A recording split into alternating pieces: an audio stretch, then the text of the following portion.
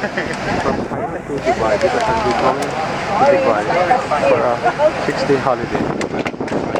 And this is my friend too. So we're inside the set Boeing 777 flight from Dubai. To be outside now, aero aircraft. Okay.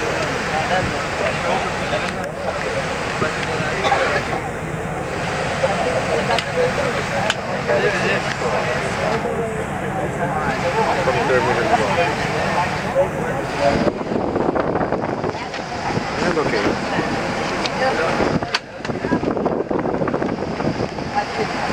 The will be like three and a half hours. We'll be arriving at Dubai around 4 a.m. 3 4. Okay?